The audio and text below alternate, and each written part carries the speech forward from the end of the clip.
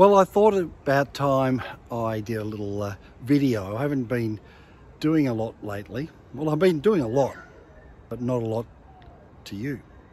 So I've said to you several times now, my passion is men's health and saving brothers is my journey.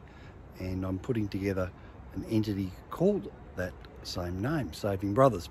And the tagline is You Matter.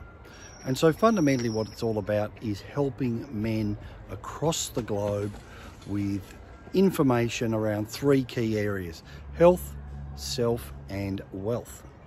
And if you'd like to know more, definitely just reply to my, uh, my email and I can share with you what I'm doing.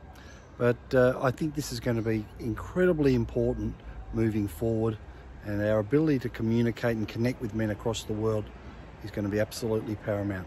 And we'll provide a lot of resources around all aspects of men's health, including mental health, cancer, diabetes, professional coaching, peak performance, you name it. If you can think of it, it relates to men. I reckon that'll be a topic that we'll be covering off in our podcast series, our blogs, and there'll be an opportunity for men around the world to become ambassadors for Saving Brothers. So it's not that I've been ignoring you.